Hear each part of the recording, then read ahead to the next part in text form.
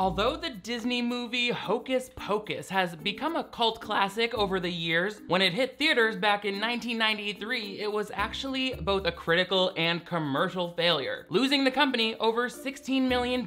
And I, for one, am baffled that people weren't clamoring to buy tickets for this seasonal Halloween adventure, even though it came out almost four months early at the beginning of July. Why does that matter? It's like I told my little cousin at her seventh birthday party. The most terrifying things in life often happen on seemingly ordinary days. And the person most likely to peel your skin off and wear it like pajamas is probably a member of your own family. I was trying to give her the birthday gift of knowledge, but now I don't get invited to Taco Tuesdays anymore. But the release date isn't the only aspect of Hocus Pocus that felt inappropriate for young audiences, with international versions quickly being cut down to remove scenes that show execution, decapitation, false imprisonment, and a beloved family pet after it gets crushed under the tire of a city bus. Because hey, why not? It's the 90s. But frankly, I find this movie even more troubling for its disorganized story, careless incontinuity, and a death march of clearly visible stunt performers who I would drive 100 buses over 1,000 of your cats to not have to sit through again. While it's true that childhood Nick did consider Hocus Pocus to be one of his favorite holiday movies, that's no longer relevant because childhood Nick has been dead for several many years. This Halloween, you're dealing with adult Nicholas, and he doesn't have anything nice to say. So check your candy for razor blades and accuse thy neighbor of devil worship because I'm taking you back to where I came from for a whimsical New England folk horror over 300 years in the making on this tricky, treaty, witch defeaty flavored installment of Clip Breakdown of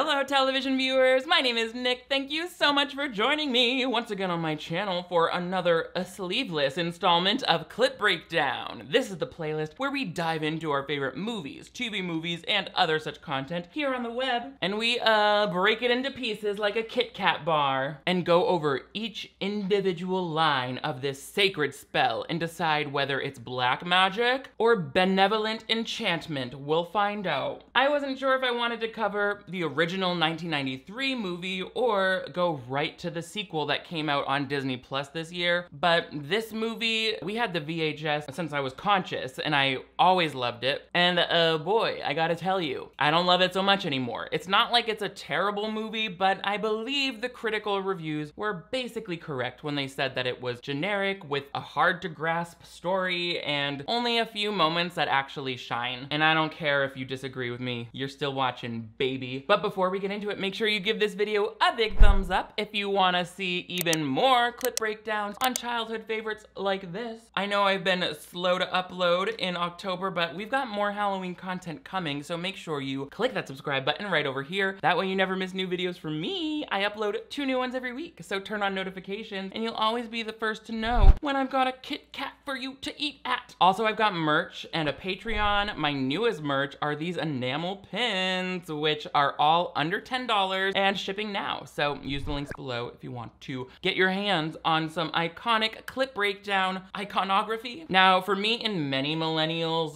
this movie was my introduction to Bette Midler, Kathy Najimy, and Sarah Jessica Parker, who play the Sanderson sisters, the head witches of this movie, which begins with a flying POV type shot over colonial mm, Salem, Massachusetts. The movie was mostly shot in Burbank, although they did two weeks of production in Salem. My good friend Mary lives in Salem, and we visited her and took these like witch photos. They really embraced the movie Hocus Pocus, and I saw the house, I saw the town square where the dance is. All of Salem, Massachusetts is like talking about witches and, and you know, kind of embracing that part of the culture. But at this point, it's more so for Hocus Pocus than for the murderous Salem witch trials that ravaged the place. But anyway, let's not look at witch hunting as though it's a symptom of misogyny that allowed people to cause death to their neighbors and loved ones. Okay, we're gonna we're gonna live in a world where witches are real. And for uh, our main side character, Thackeray Binks, he's about to get a real up close look at what real witches can do to his family.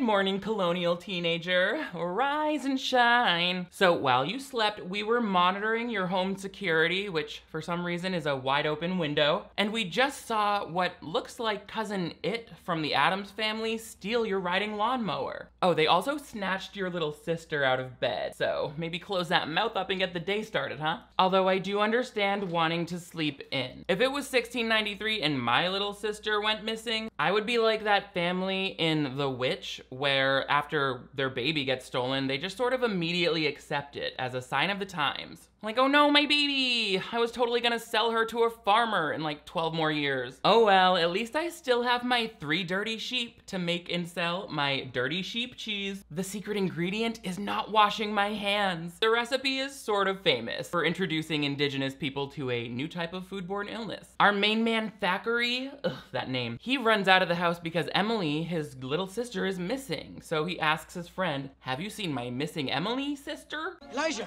pass to see my sister Emily. Look. She's done for. Not yet. You wake my father. Summon the elders. Go! And don't ye stop at Nordstrom to buy us more matching peasant blouses. It's making our gay little house on the prairie relationship that much more conspicuous. And frankly, I can tell they're not ready to pull off that look until Downy Wrinkle release gets invented, but that's gonna be a while. One of the scariest parts of this fall season has got to be inflation. Just like everybody, I am uh, making a spooky face at the gas pump, at the grocery store, but that is exactly why I started using Upside, which is also the sponsor of today's video. Upside is an amazing app. I'm earning cash back back with every single one of those purchases. To get started, all you have to do is download the free Upside app. Next, you can claim an offer for whatever it is you're buying on Upside. I just check in at that business and pay as usual using a debit or credit card, and then I get paid. With Upside, you can earn up to three times more cash than you would with credit card rewards or loyalty programs. And that's real money, honey, that you can send to your bank account, PayPal, or even electronic gift cards for Amazon or other brands. And and Upside users are earning more than a million dollars per week. That explains the 4.8 star rating on the App Store. Am I right? Since I've lived two hours from LA, I've been filling up my gas tank a lot more, and Upside is helping me see actual visible cash back on all of those fill-ups, and they even work in the convenience store inside. Download the free Upside app and use code NICKD to get $5 or more cash back on your first purchase of $10 or more. Thanks Upside for saving me some cash and making this spooky season a little less so.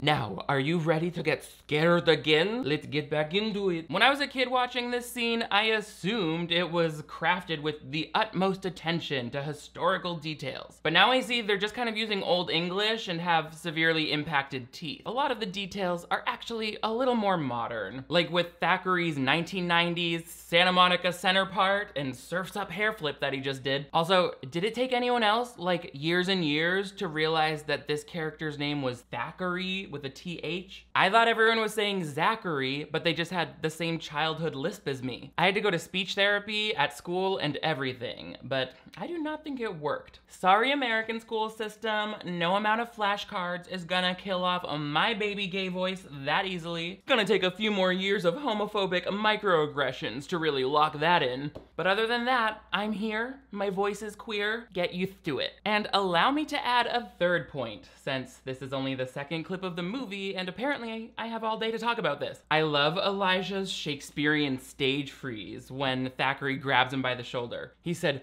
huh, I can't believe Elijah Nobody the Second invented dabbing. Also, it's really good dubbing here. I didn't know, unless I had read it, that Thackeray's voice, not just as a cat, but here as a human, is actually dubbed over, because apparently the actor who we see on screen, according to the director's commentary had a voice that sounded too contemporary. Probably like, uh, wake my father and summon the others, and let's get in and out on our way to hang those witches.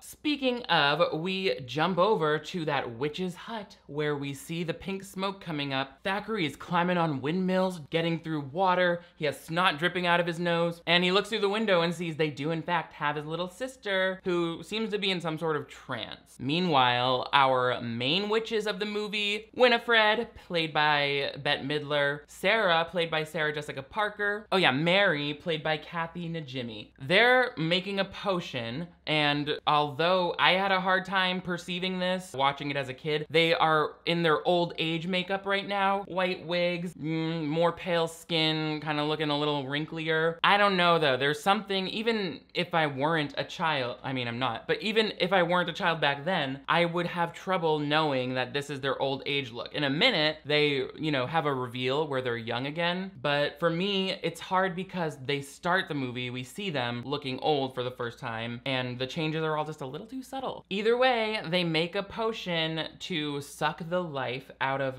the child so that they can be young. And I don't know why, but they're like feeding this poison to Emily, and Thackeray's sitting behind some cupboard being like, I'm gonna wait and see how this plays out. Until it's, I guess, a little too late. We're young. Winifred, thou art a mere sprig of a girl. I guess I never noticed that the witches start doing their little Ren Fair dance while Emily is slumped over in the chair as a white-haired corpse. Like, that's a little dark. Also, a pretty unceremonious way to kill a little girl in a kid's movie, right? Disney was like, meet the Sanderson sisters, a trio of kooky, whimsical witches who kidnap and murder a child within the first 10 minutes of runtime, while her brother watches in terror. I guess they kind of soften it by making Emily seem unafraid of the witches, since, as we find out later, she's under Sarah Sanderson's musical spell, or she just genuinely finds this process less terrifying than the prospect of being married off to an abusive blacksmith at her 10th birthday party. She said, Mama, please suck my soul out. The menfolk of this period have set up a timeline to start exploiting women well before puberty begins. Like you really expect her to be like, no, please don't kill me. I was so excited to start using hay stuffed panties to absorb my menstrual blood. I'm so glad I was born in the modern age because if it was any time earlier, I could not. I almost broke down in tears when I couldn't find my special blanket that I like for naps that stays cool. So the idea of like milking a cow, oh, I would riot. And I think that's one of the reasons why the folklore around witches was so prevalent in this time. It's like they're like older spinsters who live alone and haven't married a man, haven't become someone's property, and they use spells to get what they want rather than like shoveling hay. Anyway, Thackeray jumps up and he's like, how dare you have already killed my sister? And they're like, oh, we're gonna cast a spell on you too. And they transfigure him.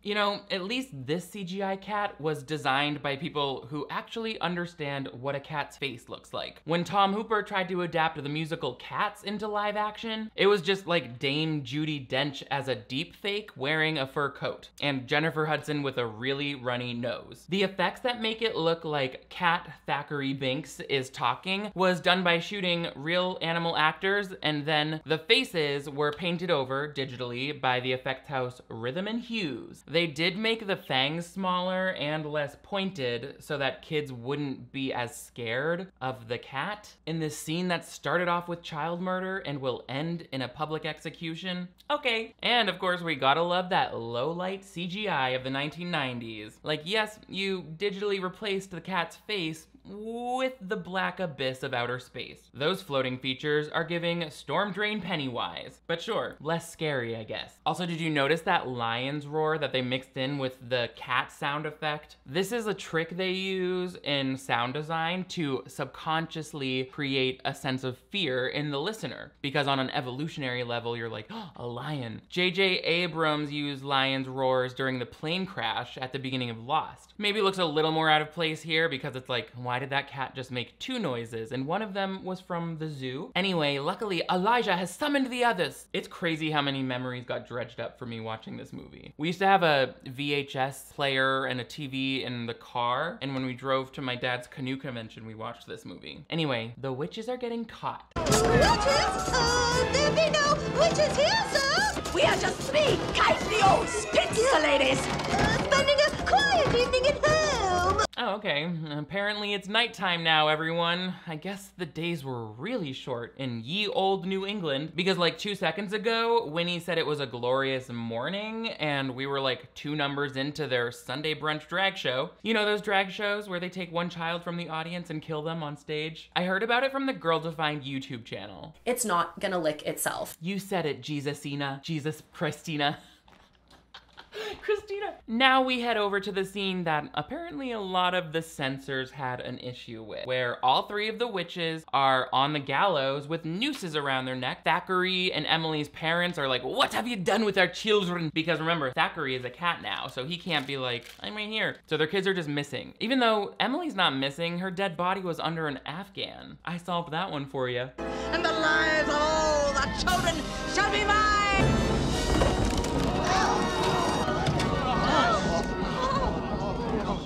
Did they need to show this hanging in such a graphic detail, feet swinging? The answer is yes, but only to honor the memory of Walt Disney, who himself was a big fan of lynch mobs and participated in several angry hangings uh, up through the 1950s. I'm just kidding, that's not true, but he was racist. So it might as well. The essence of truth is there. If I were a memoirist, I don't have an end to that sentence. What if though? Let's pretend. The UK release of Hocus Pocus originally cut this part out entirely, so it went from the witches being at the door with the mob outside, and then cut right to what we're about to see with the history teacher finishing the story as they recite it to the class, which completely skips over the part we saw at the beginning of that clip where Winifred curses the children of Salem forever and promises that they'll be back. So, you know, just the inciting incident that's crucial for the audience to understand the plot. No biggie. Hey, maybe that's a good reason when making a children's movie not to have any important dialogue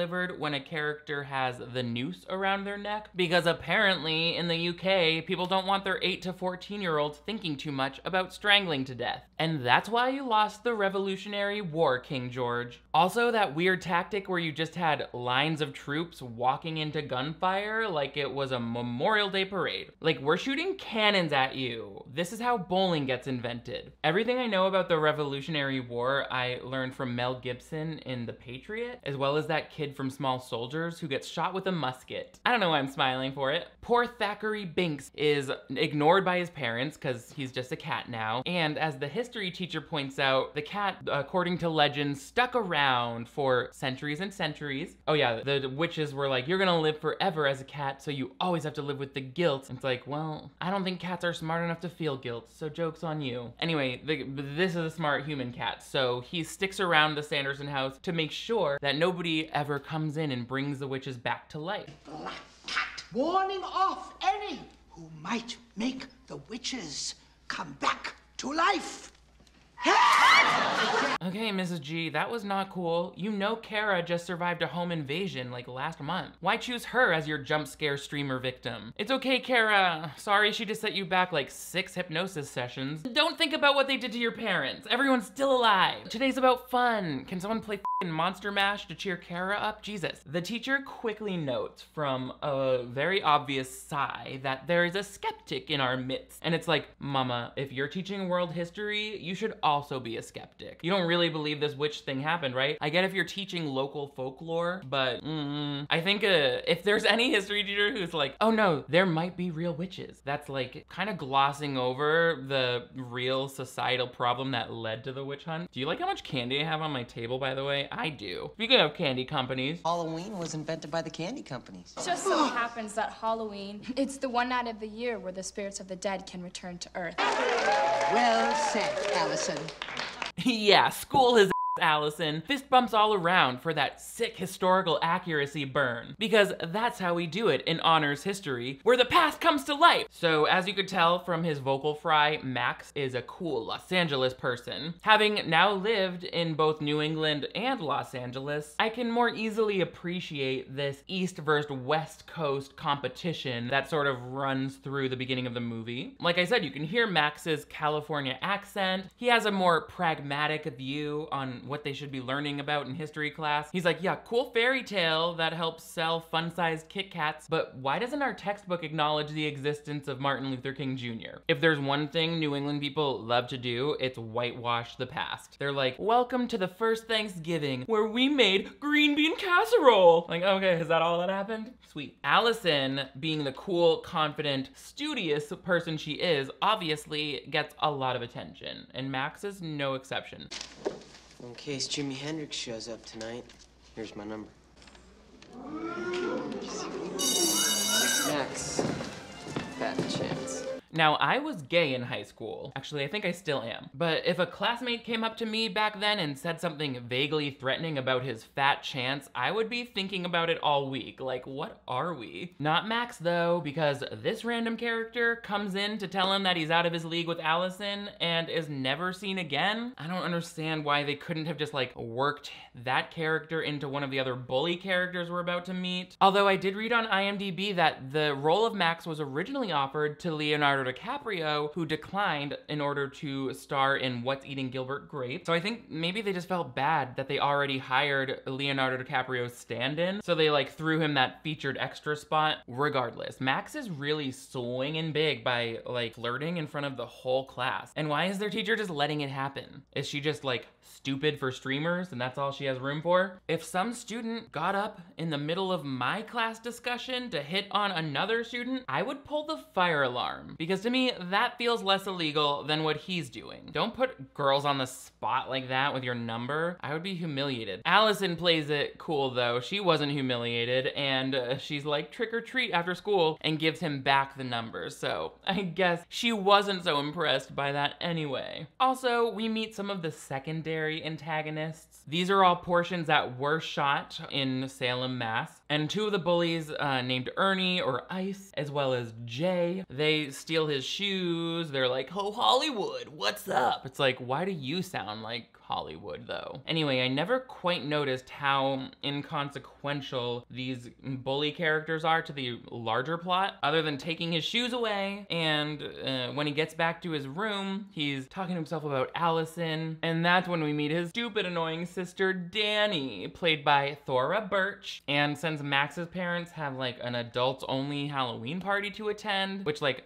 gross parents, don't tell us about your swinging sex parties. He's embarrassingly forced to take Danny trick-or-treating and he gets further made fun of by the like bullies of the school. They take his candy. These brother sister dynamics, when they're like arguing at the beginning, I'm like, I don't care. None of this is witchcraft. I want to go home now.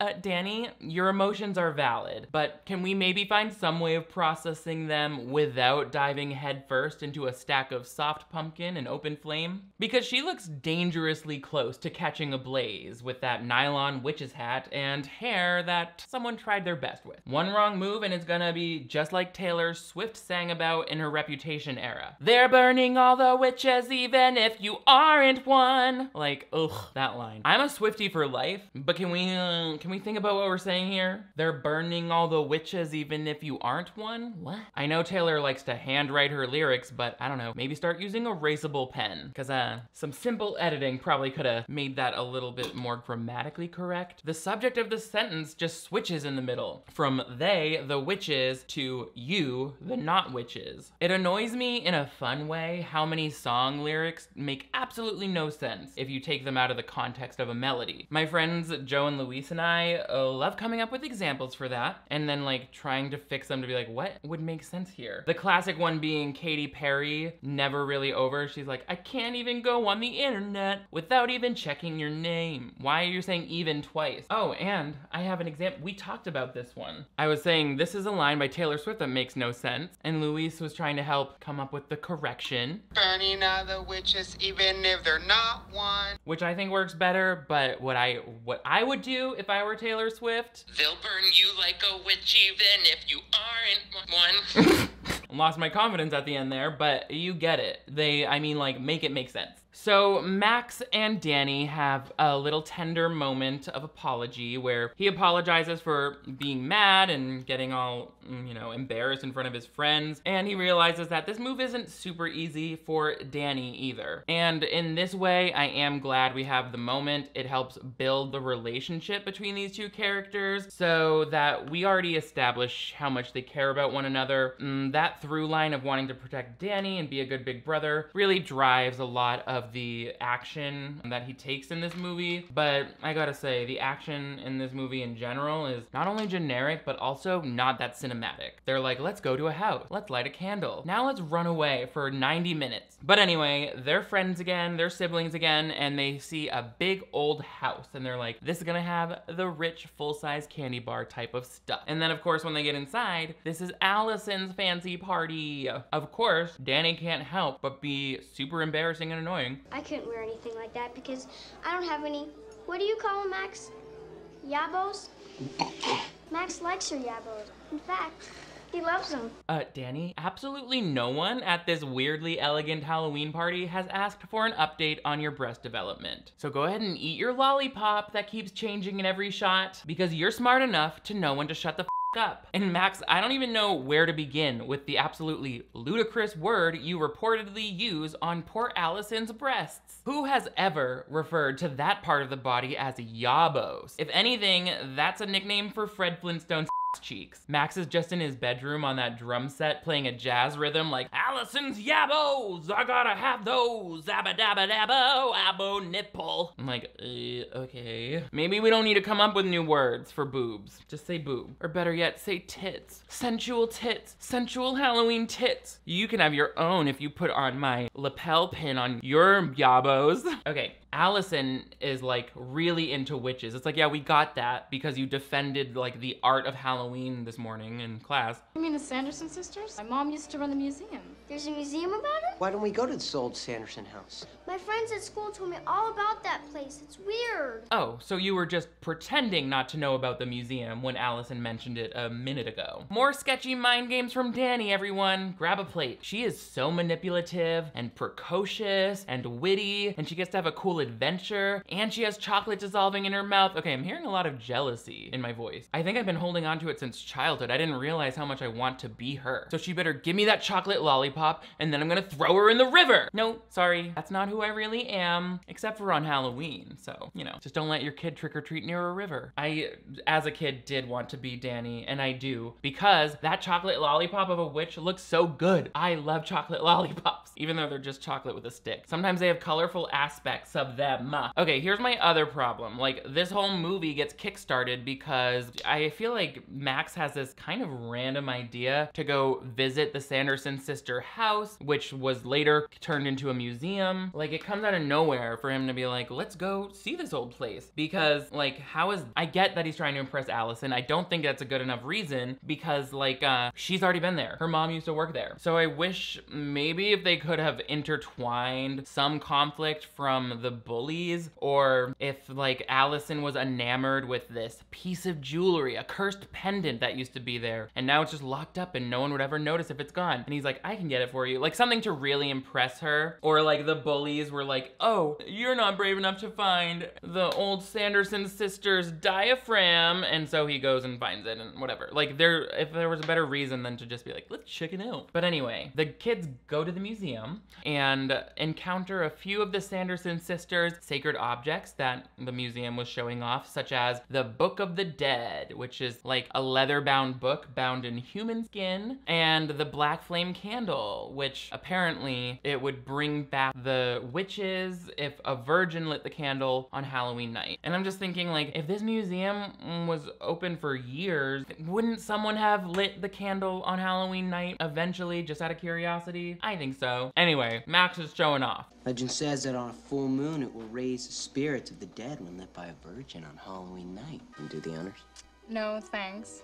Allison's like, a damn, all it takes is wearing a few cream colored sweaters, and this whole town presumes to know how many people I've slept with. Max, you saw she's old Massachusetts money with a grand staircase. Her Halloween costume had a corset, and she left the house without telling her parents. That's rich kid privilege. Why do you just assume she's a virgin? You don't think she could have possibly experimented with some boyfriend at summer camp where like the dressage horses outnumber the counselors? Also, shout out to all of the parents, including mine, who had to explain to their eight-year-olds what it means to be a virgin in a way that they could understand. Since for some reason this kid's movie decided to make it a key aspect of the plot that simply won't stop coming up. A virgin.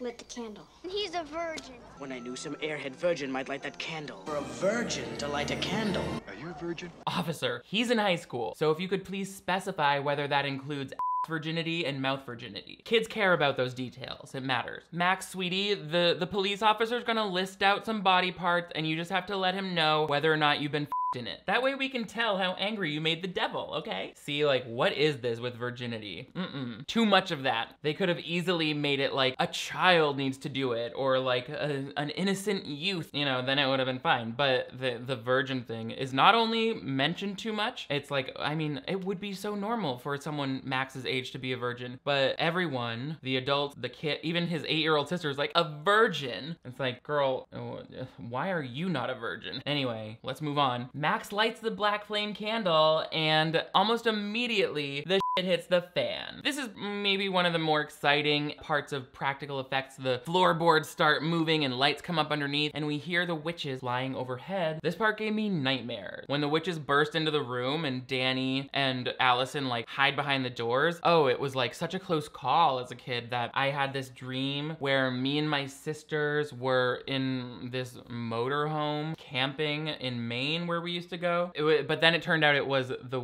Sanderson sisters trailer home. And so I hid under the comforter of their bed while they were looking around for our for us. And it was really scary. And that's why I keep burning down all those trailer parks. It's not my fault. So the witches discover Danny first and they're like descending upon her being like, oh, did you light the candle? And they're clearly about to come at her with their, their big spoon of potion and suck her life out. But that's when Max jumps to her defense and a full-on paranormal melee ensues. These witches like shoot fire at him and he's like sliding up the walls. Again, cool effects, but the stunt work, mm, maybe a little messy. You leave my brother alone! I think it's official. Hocus Pocus is my favorite Disney movie that depicts children being electrocuted. In close second is the Pixar animated short Duncan Rewires a Doorbell. Poor Duncan, he dies instantly. I'm talking about death a lot this episode. Why? Halloween and the candy. I love that candy. So yeah, fun how he's sliding up the wall. But when I look screen left, I have some questions regarding Sarah Sanderson's performance. Specifically, who the is that lady playing her? We're getting a full-on view of a stunt double right now. And unfortunately, this is not the only part of the movie where specifically Sarah Jessica Parker's double is mm, right on screen. It's very obvious. I mean, they have completely different faces, only one of which is pulling off the red lip and smoky eye combo. That's a very specific and bold makeup combination. And I guess today we learned that it can look very different depending on the person. Now, Max narrowly escapes with his sister and friend because he uses the fact that the witches don't know anything about modern times to their advantage, even though the witches like use anachronistic dialogue immediately. They're like, oh, let me just check out the net, even though they're like, what is this weird thing? And it's like a, a cloud. It's like, you had those back then, you had those. Anyway, Max uses the lighter to set off the sprinklers. I'm like, why did they leave the water running at this abandoned building? Why did they also abandon the museum and like leave everything from the artifacts to the like racist cherry candy on the counter just to collect dust. So anyway, he causes the rain to come and makes his escape and the, they grab the book as well. I don't know why they grabbed the book. I would have been so terrified that I just ran, but oh, you know why? Because while Max is trying to escape, Binx comes out of the woodwork, Thackery, and speaks to him. Apparently, Binx couldn't speak as a as a cat until the Sanderson sisters came back. That's never explained. Seems like a plot hole to me, but on the internet, they'll say, no, no, it makes sense. Binx is like, get the book and run. So he knows they need the book to like eventually defeat these witches who, after leaving the house, are sort of shocked by all of the modern changes of the world. Tis a black river. Tis firm. Careful, Winnie.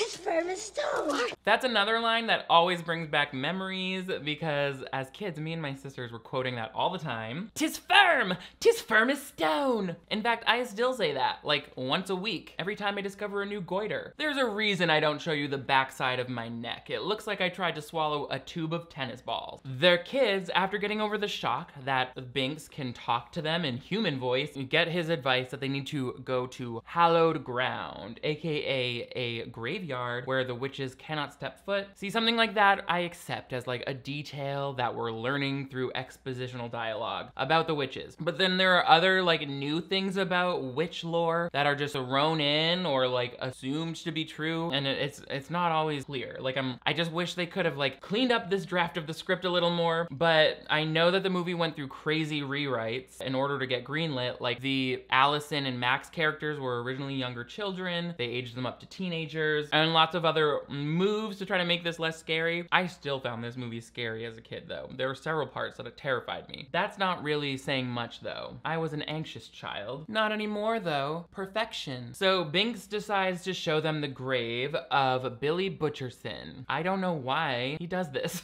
Billy Butcherson was Winifred's lover. She poisoned him and sewed his mouth shut with a dull needle. But she found him sporting with his sister Sarah. He was sporting with her sister. I would have poisoned him too. That's the ultimate betrayal. I assume sporting is like colonial speak for eating Hold on, I'll call my local librarian to confirm. Hi Judith, it's Nick again. Hey, did they call 1600s anilingus sporting? And if so, was it a team sport? And how many players on each side? It- It's for a project. Meanwhile, the cat's computer face still seems to be hovering weirdly, like the guilt-stricken religious person at a sex party. Wow, I'm sorry. I forgot this was a kid's movie. It would have been way more appropriate for me to say costume party, where group sex is happening in the back room. Oops.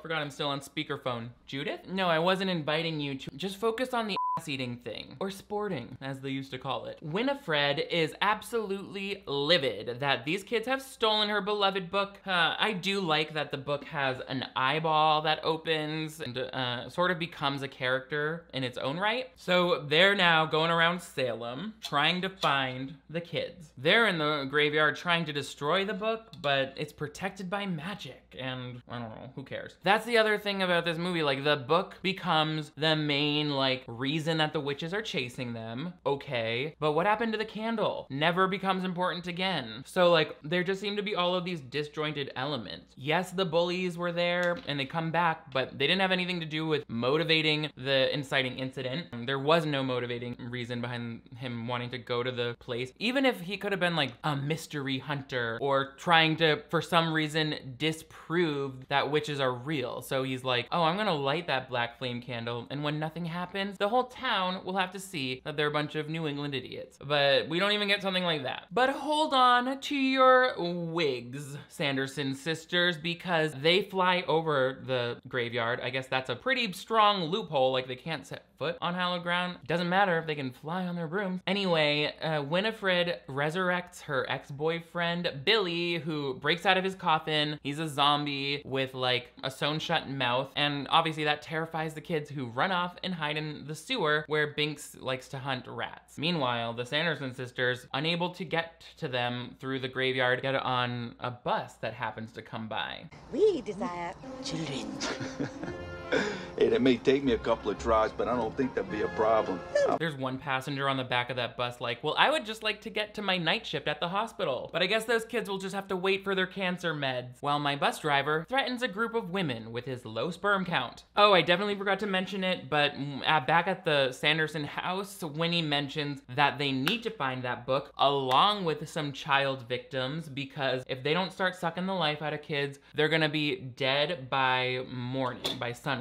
So this introduces the concept that like they die at sunrise, although I'm confused. Like in the beginning of the movie back in the 1600s, they were old and it seemed like the desire to be youthful again was based on vanity. It doesn't, or maybe it could have shown them being like so close to death because they're that old. But now it's like, what are we supposed to believe that you don't have enough life force left to make it past daylight? When how young do they need to be? Like babies to make, and how many days does that buy them? I'm not saying saying witch sunlight logic needs to make perfect sense, but it would be nice to know where these rules are coming from. And you know, the kids have this book. They could do it really unexpositionally where the kids are like reading this book and it's like all about witches. They're allergic to water. They uh, kill children. They wear circular blush and heart-shaped lipstick. These are all fun things to know. So uh, the bus driver is really groping some of his passengers and when the kids are coming up through the sewer, Binx gets hit by the bus. This part terrified me. Not because of the bus crash, but like they show a simulated cat corpse with like a tire track through it. That's a lot. That was also cut from the UK version.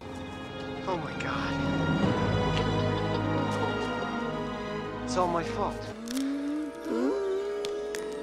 Uh, where did Disney get that CT scan of my lung back when I smoked menthols? Oh, it must have been one of those extra forms I signed when I got my kidney stones removed at Epcot. I originally wanted to get married there, but traditionally speaking, I need to stop ruining all my relationships first. But just like I told my last boyfriend, it's hard for me to improve myself because I'm already flawless. And I can't say I'm sorry because I've never done anything wrong in my life. So I don't know what you want me to do. Anyway, Danny is like crying over this cat she met until he starts inflating back to life, and that's how we know he's immortal. The witches are now walking around Salem confused by all of the obvious costumes. I'm like, even just because you're from the past, you can tell when a mask is a mask, especially if you're a witch and you've seen the real devil, just saying. Anyway, the, I don't know why they think Salem is suddenly like the hub of openly walking demons, but they think that. And then they go to one of these houses and a man dressed as the devil comes out and they think it's obviously the real devil. They're like, Master! And it's just some kind of, you know, couch potato guy and his couch potato wife, which interestingly, these people are played by Garry Marshall, who directed Valentine's Day and God, what was that other awful one we watched? New Year's Eve. And his wife is played by his real life sister, something else Marshall, which is always weird. Meanwhile, the kids go to the cops with the least credible version of this story that they could think of. We know by now that when it comes to talking to the police, you never tell them the truth. Get out of here. Come on, Danny. Take that cat with you. What's so funny, Eddie? Kid's pulling my chain. Thought I was a real cop. Oh, Eddie, impersonating a cop to deceive the vulnerable. What a fun Halloween prank. And also the first troubling behavior of several infamous child predators and serial killers. I hope you're not escalating, but good lord. The police officers in Salem really do have a witch on their arm. And I'm like, we love doing this witches flying in front of the moon thing when it was genocide. The witch hunts were genocide against mostly women, 80% women. Anyway, they only try to tell this one cop who thinks they're telling a prank and scares them off. But I mean, Max, Danny, and Allison are sort of to blame, running around and rambling about the, the candle, the book, the spells, the curse. Girl, stop moving your mouth like this is the lion witch in the wardrobe. Just tell them that there are three adults trying to hurt you. That should raise some alarms, right? Then maybe your genuine fear will be convincing. Anyway, let's check in with Master. This part always confused me as a child because obviously the Sanderson sisters think he's the real devil. So he's like, come on in. But I was confused because he's acting like he knows them. Although he really just sees like, oh, they're dressed as the famous witches from our town's folklore. And I'm like, so then uh, I guess I was too young and innocent to understand why a gentleman would invite three other ladies who showed up at his doorstep into the house. But you know, they're trying to have a horny Halloween hookup, I think, the, the devil and his wife. But actually, the wife starts to get real impatient when she sees Sarah dancing with him. Calm down, puddin' face. Shove it, Satan. Thou should not speak to master in such a manner. Mama, the only master anyone's speaking to right now is the master staircase. We can see in the mirror there's no one in front of you. I didn't mention it. This movie was directed by Kenny Ortega, who did High School Musical, most notably. And it kind of feels like he just handed all of these scenes over to his intern and was like, come get me when there's a musical number in an auditorium to direct. I'll be in my trailer practicing windmill arms. Oh, uh, to to escalate the conflict for the witches who they left their brooms leaned up against the fence. I don't know why you wouldn't just bring them inside with you. They're brooms, not Buicks. And some kids took them and you hear them flying away. And like those kids definitely plummeted to their death, but okay. Meanwhile, the kids, after getting no help from the cops, big surprise, decide to go see their parents at the like all adult Halloween party that apparently is happening in Salem Town Hall. I have a picture right in front of this place because we went on like the Salem walking tour, which was not so much a tour of Hocus Pocus filming locations, and it was more like this is where young Johnny was hanged for stealing a scrap of leather. I was like, okay, I can get into that. The adults in this town really go all out for Halloween. They're wildin'. I'm gonna look for mom. Ugh, not open shooter Sally firing off blanks inside a government building. She said, support the NRA! Wow! Wee!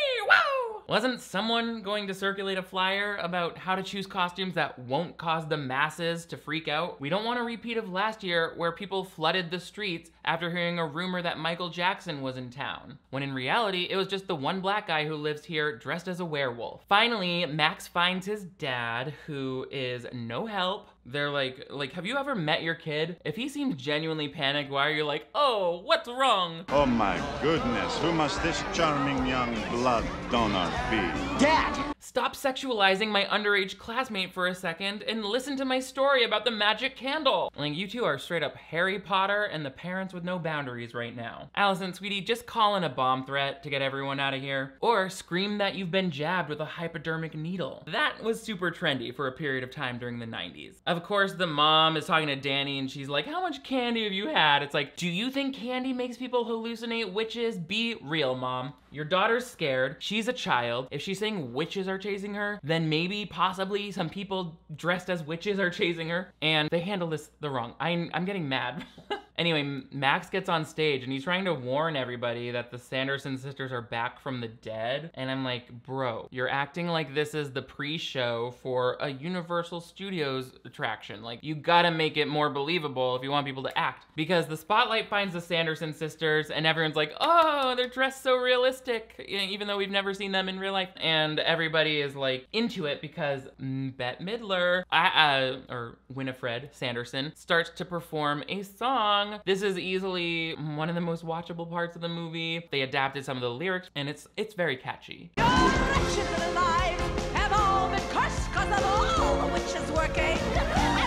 Uh, you Winnie Wish, Winnie Fred. But the title of The Worst Witch obviously goes to weird British Mildred from the BBC series The Worst Witch.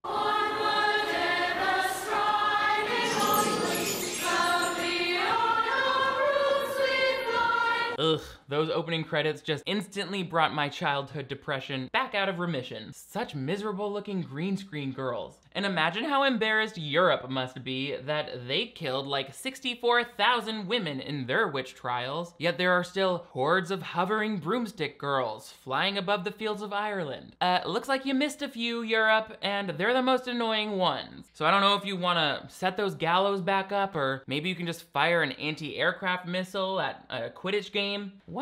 I thought they were children of the devil. We're supposed to just let them fly through restricted airspaces? Not on my watch. Your wretched little lives have all been cursed, and if all the witch is working, I'm the worst. Oh, by the way, we're going to be watching Hocus Pocus 2 on my Patreon for an exclusive Patreon-only virtual watch party. So if you're not already a member, make sure you sign up. It'll be uh, available to watch after as an archived version if this is in the future, so check it out. I had to look up the lyrics for this part.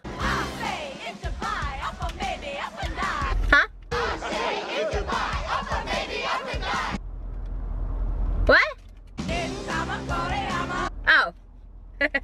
okay. Since when does casting these spells require a bunch of gibberish? I find this movie's use of incantations to be a little confusing. Sometimes it's a rhyming poem. Sometimes it's just regular talking. And now it's full on Elphaba from Wicked with the Elika Nama Nama Nachu Machu Melika Namen. And the same still goes for their sacred mystical objects. First it's a unique candle, then it's an interesting book. Like we get it, Sanderson sisters, you shop at Urban Outfitters. But maybe we can combine some of these story elements to make it feel like a little less scattered. Uh, for example, why the black flame candle? Can't we have had the book had the spell that brought them back or the book needs to be on the sacred altar in order for the spell to work that sends them back? You know, like when it could be anything. It's all nonsense. Then it wouldn't be like, oh, now the sunlight is what sends them back. Like that feels like a third thing. Plus, like I said, this is the part where the action feels really passive to me on the part of the main protagonists. Max, Allison, Danny, they're just running from the ladies now because they have the book that they want. I'm like, well, what is the plan? Just to run forever with the book? Like, why can't there be some sort of solution of like the only way to deactivate the book is to read it backwards while hanging on the monkey bars? You know, like give them a task to do. Oh, like maybe there's some sort of historical artifact that Allison's mom brought back from her time as a museum curator that was briefly mentioned. So they need to go find it in the storage facility of the high school where they end up. These would feel more connected to me. It's like we always know where they're going to do and why, but here it's just like, oh, now they're at this place, now they're at that place. Speaking of now they're at that place, the kids end up at the high school, real loose security at these buildings, and Max is on the mm, PA system, luring the Sanderson sisters towards their voice because they don't know what a PA system is, even though they do know the words to I put a spell on you. Like, how do you not know about speakers, but you know Screamin' Jay Hawkins? Doesn't matter. My favorite actor in this, by the way, is Vinessa Shaw, who plays Allison. This was the first movie I ever saw her in, but my favorite movie that I ever saw her in was the 2006 remake of The Hills Have Eyes, where she's shot in the head at point blank range. Don't know why I'm smiling for that either. I just love Halloween and gun violence. Just kidding. I don't. So this is all a ruse. The kids have lured Winnie and sisters into the pottery kiln and sizzle, sizzle, drizzle, drizzle. It's time to burn these girls to death.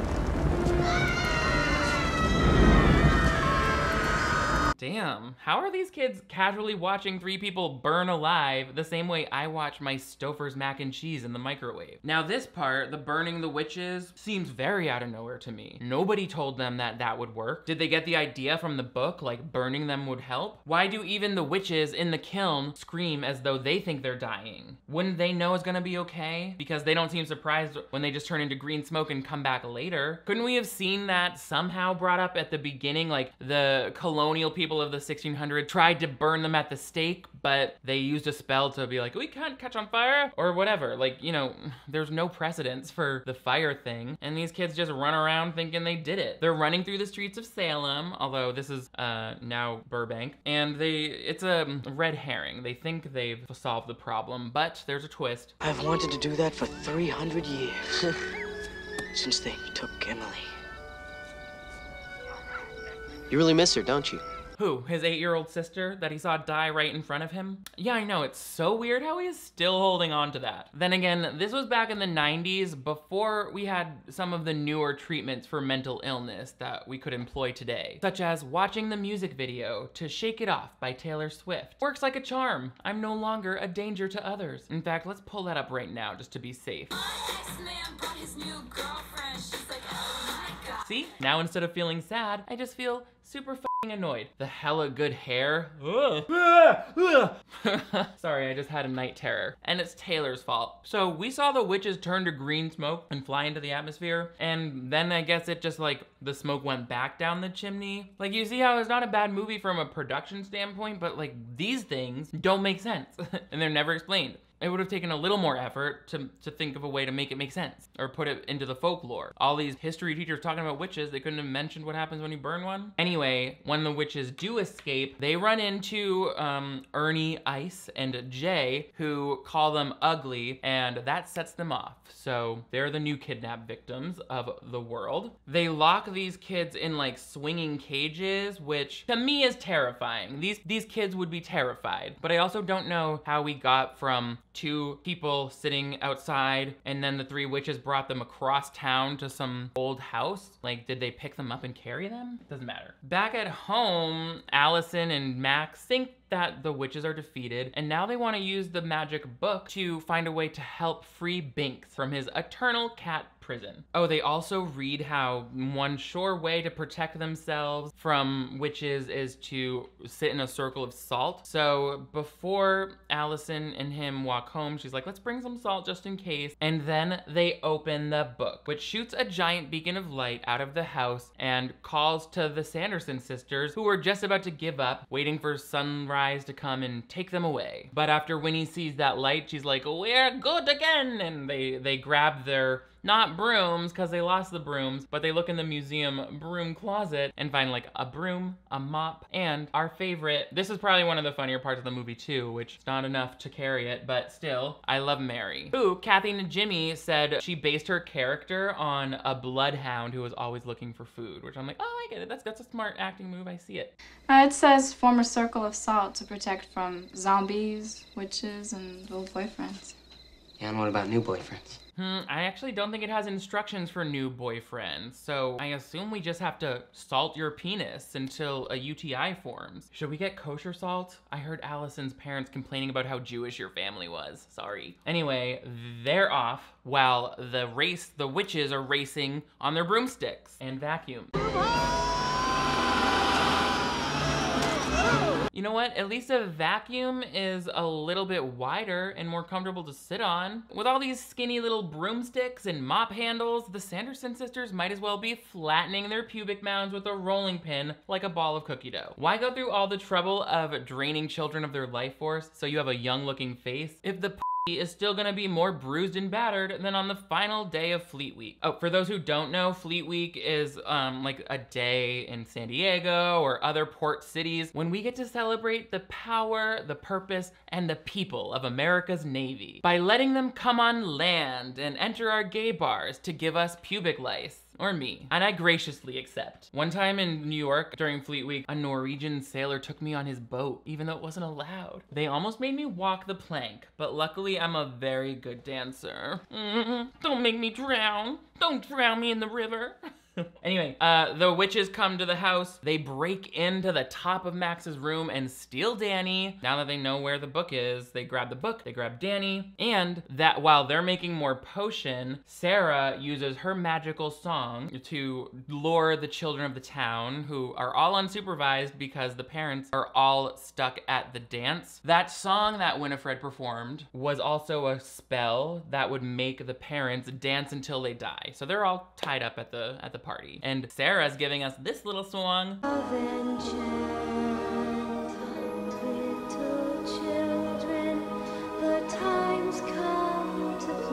Okay, looks like Kenny Ortega didn't have time to choreograph anything for this song. He just has SJP hanging from a string while he calls up, now stretch your arms out, touch yourself sensually, now off the broom, make it look like you're off the broom. We get it, she's the promiscuous one. But sir, this is the actress who played Annie on Broadway. Some respect. You can't make a Little Orphan Annie push her boobs together like that. Sarah, don't listen to him. The network wants to go in the opposite direction, okay? That's right, we want you to manually separate your boobs. Cup one in each hand and don't let them ever touch. Great. Something's weird about Sarah coming down on this broomstick.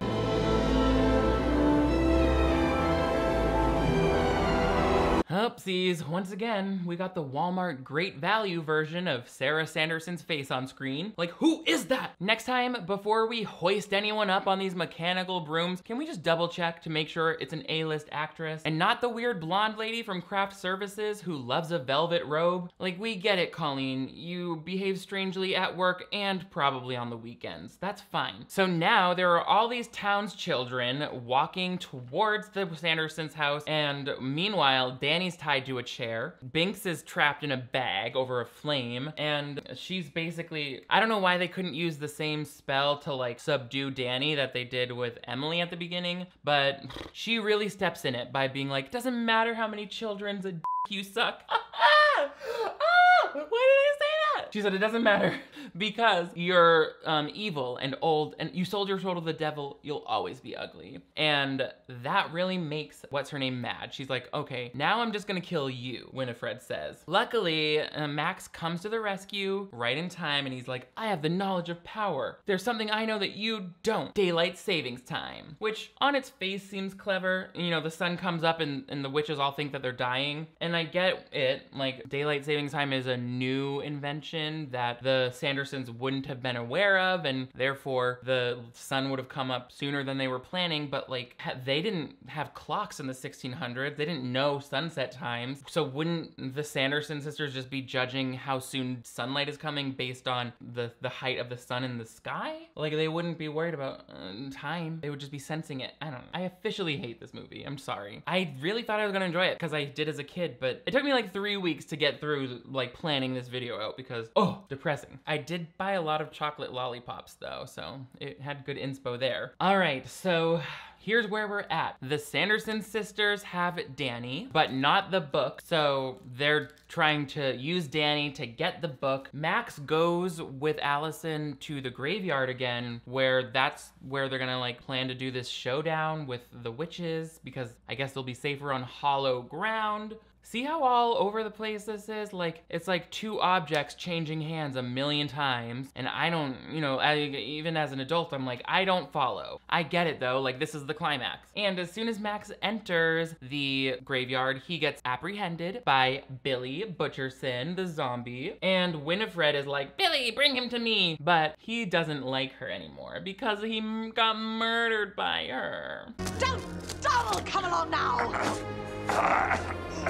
Okay, good plan, Billy. You start clearing those moths out of your mouth cavity, and I'll start scooping the maggots out of your I insist. I know it's not strictly necessary for this adventure, but I'm still really good at it because I used to be the personal assistant to Pete Davidson. Oh yeah, I don't know why I have to be mean to him sometimes, but he's got a maggot this mouth gag, by the way, is a practical effect. Those are live moths that fly out of Billy's mouth, which is really cool because they did it with a mouth, like latex pocket that went in his mouth with a little hole so he could blow air through it. And then an animal trainer would put live moths in with the dust using tweezers. And then the makeup artist would glue the strings back together. And then he, they could say action and he would cough out the flying moth, which I just think is so cool. It's similar to what they did in the movie Candyman, where the guy had like bees crawling out of his mouth and they made a similar device. That's like one of those things where they're like, no animals were harmed in the making of this film. And it's like, really? You're telling me not one single moth died on the job? Would you even know? Who would report it? Does anyone care about the insect lives? Because their lifespan is so short. Not like a golden retriever. So at this point, they realize Billy is a good guy. He's on their side. So he, you know, helps protect Danny. They draw a circle of salt around him. But then Winnie goes and flies at him and knocks off his head. However, this is another part, the like head being knocked off and any part where Billy is wandering around headless that they cut out of the UK version of this. They did not give a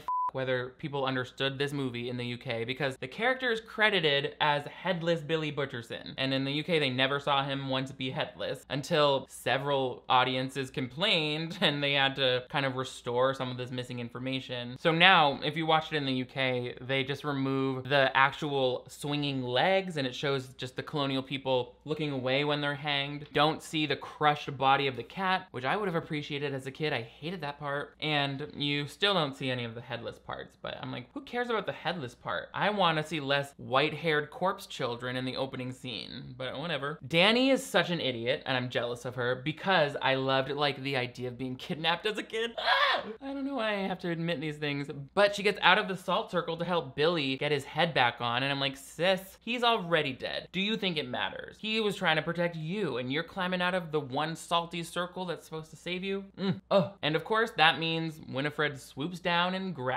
her. Because Winnie didn't have the potion recipe, because she didn't have the book, they only had a tiny bit of potion left in that cauldron from 300 years ago, which they don't show a close-up of. I'm like, was it fossilized liquid? Either way, they scoop the last potion out there. They're like, we have enough for one child. And that vial gets dropped somehow, and Max catches it. And then they have this standoff where she's like, give me the vial or the child dies. And he's like, I'll smash it. And she's like, well, then I'll break your little sister's neck. She doesn't say that, but that's what I hope would have happened.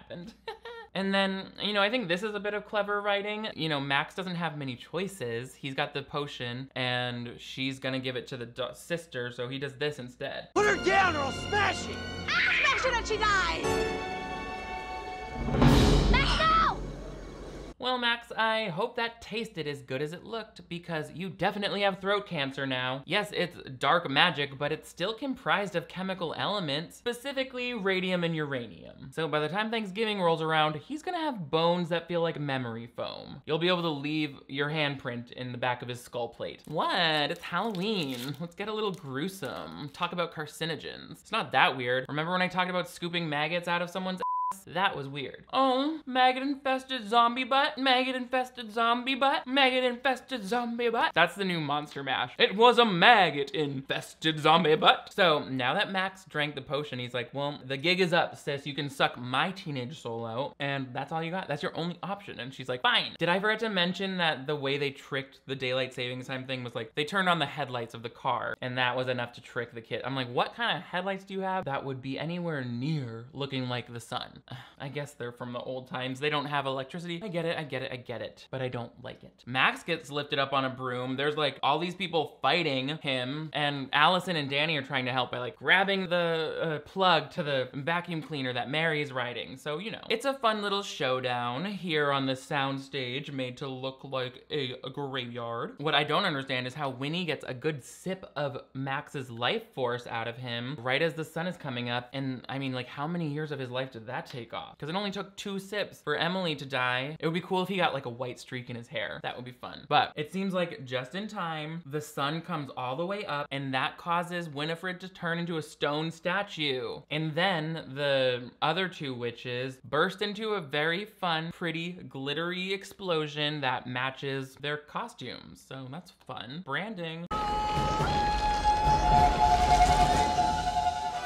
Me when a guy says that he's into hard rock. And yeah, I know he was talking about the type of music, but I'm not gonna listen to Aerosmith. What next? Visit a cigar store? Get a tattoo that's just a list of my wife and kids' names? Watch an episode of Top Gear? Ugh! No thanks. I'll just sing a high note until my entire body calcifies. But like Winifred, I want someone to apply blush and lipstick to my stone chiseled features. I know they never mentioned a single thing in this movie about the sunlight turning the Sanderson witches into statues. And I mean, I guess that wouldn't need an explanation if it happened to all three of them, but it, it only was Winifred. The other two just burst. I'm guessing it was too expensive to build one of these custom statues for all of three of the actresses, because I read that they had to make six identical versions for Bette Midler. None of them really look like her, by the way. I mean, come on. That's clearly the exhumed corpse of Miss Frizzle from the Magic School Bus. I know, it's sad. They had to dig her up. The police think her husband might have killed her. so finally, the kids are safe. The witches are glitter now. and um, the sun is up. So November, Danny and Allison and all three kids say bye, And he just peacefully closes himself back into a coffin. Wouldn't have been cool if he also had some skin in the game, like uh, Winnie's spell was gonna make him a zombie, a servant to her for eternity unless they could restore his tongue that she had in a glass jar. You know, like I'm just saying. Oh, Binx the cat, he's dead. Well, he's not dead, but like the cat body of him transcended. He's gone. He's gone, Danny. But he can't die, remember? You really think Allison wouldn't remember a little bit earlier when the talking cat told her it was immortal? You think she wouldn't remember seeing it reinflate after getting hit by a bus? What a dumb question. She's in the same exact movie as you, Danny. You defeated the antagonist. Look at that sunrise. Listen to the triumphant music. It's giving story resolution, sweetie. And in this case, that means the soul of the 16-year-old boy gets to move on to heaven and not have to inside of a box in your guest bedroom until the universe explodes. We thought maybe you could be cool about that, even though you wanted him as a pet. That's the other thing before she was like, I'm gonna take care of you and feed you tuna and my my children and my grandchildren will all do it. It's like, but he's not a cat. You could feed him human food. He's talking English. You could treat him like a human, like Salem from, mm, from, from, from, from Sabrina.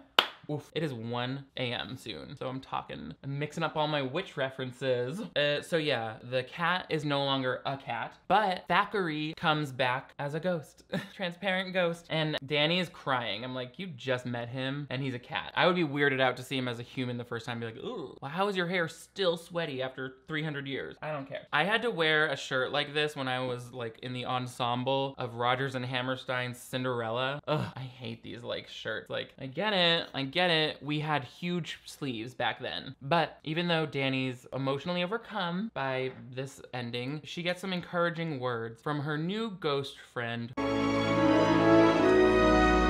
shall always be with you.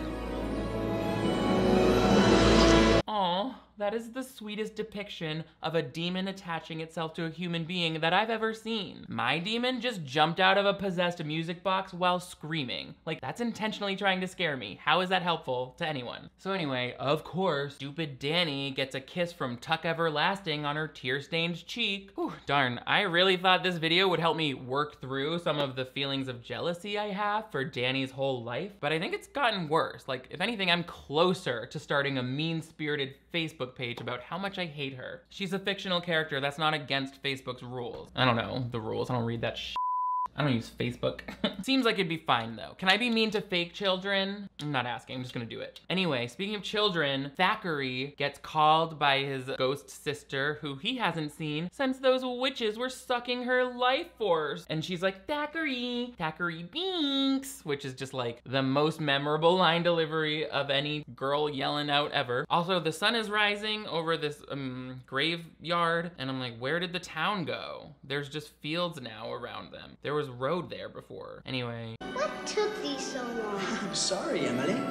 I had to wait 300 years for a virgin to light a candle. Yep, and it was just as random and unusual to watch as it sounds when you say it like that. And again, why is this movie treating characters who are eight years old like they would know what a virgin is enough to make fun of Max for it? Like, she's a transparent child who died centuries ago, and she's wearing a knitted bonnet. Like, that's a child. What? It, why would she know what a virgin is or care? Like, is she supposed to be like, Max, bro, is that true? That my undead cat brother is your only experience with pussy? Well then, tis my duty to see that we get thou laid before graduation day. Tally ho to the adult video store. And that's the plot of Hocus Pocus 2. Ghosts help Max lose his virginity. No, I'm just kidding. It's gonna be some other bullshit. Which we get set up for because back in the museum, yeah, the museum, the uh, book's eyes open. Also, the parents leave their dance party all tired. Like I said, this movie lost money when it came out in 93, but it was released on home video the next year. And every year since then, the Halloween sales have reached over a million dollars on streaming and home media, which is successful, but I can see why it would take 20 years of that before they're actually like, okay, we can make a sequel now with all the nostalgia bait that's going on. Also, in 2015, Disney parks started including the Sarah Sanderson sisters in all of their Halloween entertainment at Mickey's Not So Scary Halloween Party, along with the heavy presence from Jack Skellington and Oogie Boogie Man, all these characters from the other Halloween movie that came out in 93, Nightmare Before Christmas. In fact, that was the reason they had Hocus Pocus come out in July. They didn't want it to compete with the more expensive and more commercially successful right away movie, Nightmare Before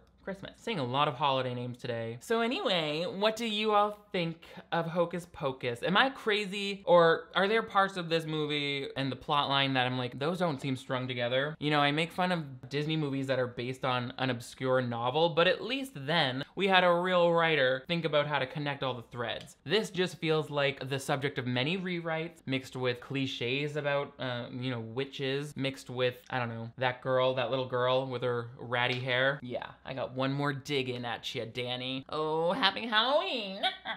let me know what you think in the comments below, and also let me know if you've seen Hocus Pocus 2. What elements from this get carried over? Is it as good? Is it as bad? Is it as sad? Did it give you the 90s nostalgia that you needed to make it through one more day in this capitalist hellscape? Sound off! Also, make sure you give this video a big thumbs up if you want to see me cover even more classic Halloween content before the month of October is over. Also, make sure you hit that subscribe button right over here. That way you never miss new videos from me. I upload two new ones every week, so turn on notifications because you don't wanna be the last to know when my book's eye is opening and looking at you. Also, a reminder that I have a Patreon where you can catch my upcoming Hocus Pocus 2 live stream, as well as months of back content and merch, like my brand new uh, enamel pins with some clip breakdown iconography.